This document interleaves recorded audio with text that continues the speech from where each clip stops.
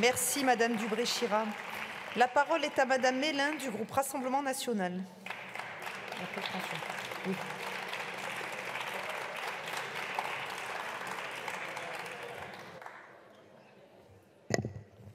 Merci Madame la Présidente, Mesdames et Messieurs les ministres, chers collègues.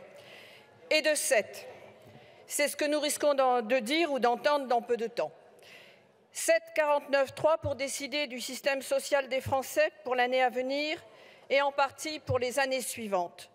Année ô combien charnière compte tenu de la situation sociale invraisemblable dans laquelle Emmanuel Macron nous a conduits après de plus de dix ans aux manettes.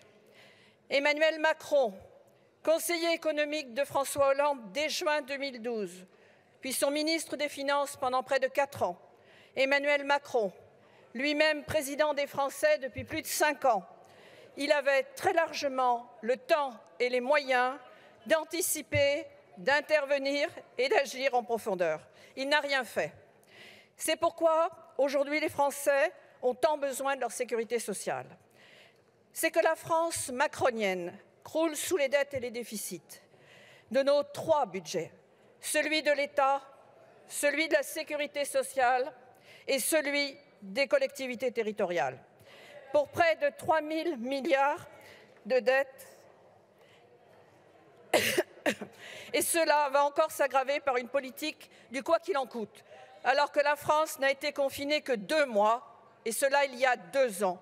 Deux petits mois qui nous ont déstabilisés, mais ont été les grands révélateurs d'un déséquilibre, d'une fragilité devenue depuis structurelle, comme le montre la crise de l'énergie qui évolue depuis début 2021. Fragilité qui bascule à la moindre nouvelle crise, comme celle de la bronchiolite ou de la grippe. En matière de sécurité sociale, Emmanuel Macron a consciencieusement continué de fabriquer la pénurie de soignants, les médecins au premier chef. S'il avait plaidé dès 2012 pour la fin du numerus clausus de tous les professionnels de santé, nous ne perdrions pas ici des heures à tordre l'équation du transfert de tâches ou à parler des modalités rocambolesques d'installation des médecins. Nous aurions tout notre temps pour envisager sereinement les réformes nécessaires de notre système de santé. Mais surtout, nous n'aurions pas, mes chers collègues, à apprendre la mort d'un deuxième enfant à l'hôpital Trousseau la semaine dernière et de la faute de moyens, tout comme ces patients qui meurent sur les brancards. En ambulatoire, tous les patients en ALD auraient un médecin attitré, nous pourrions sans réticence aller consulter à temps pour bénéficier du diagnostic précoce. Ce n'est plus le cas. Nous ne ferions pas le constat de 30% de plus d'étudiants en santé qui ne pratiquent pas ou trop peu de temps leur profession. Pour cela, il aurait fallu qu'Emmanuel Macron rende ces professions attractives et valorisantes. Il préfère une médecine low cost où des infirmières, certes aux compétences indéniables dans leur domaine, pourront, au bout de cinq ans d'études, à moindre frais, pratiquer le même exercice que vous refusez à des généralistes au bout de la dixième année.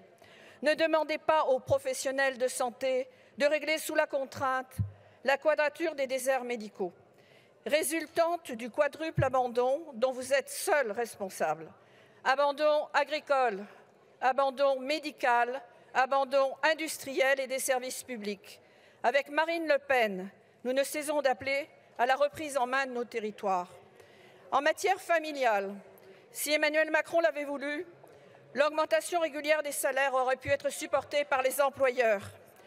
Certaines mamans ne seraient pas obligées de travailler pour faire face aux salaires trop bas de leurs conjoints, elles qui ne peuvent même pas obtenir des allocations familiales à la hauteur de la protection de leurs enfants. En matière de retraite, ce sont les grands-parents que vous maintenez au travail alors que leur corps n'en peut plus.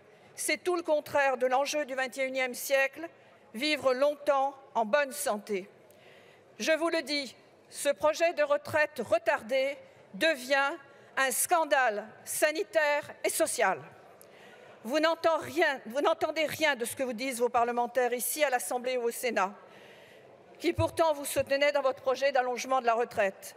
Le Sénat que vous avez humilié en rejetant de nombreux de ces amendements de bon sens. Alors, allez-vous balayer de plus d'un revers de main autoritaire et méprisante toutes ces heures de travail des parlementaires et couper court à toute décision et toute discussion? Dans ce cas, soyez cohérents. Mesdames et messieurs du gouvernement, représentez-vous directement devant les Français. Ils pourront vous dire directement à quel point ils sont fatigués de votre politique. Je vous remercie, Madame Mélin.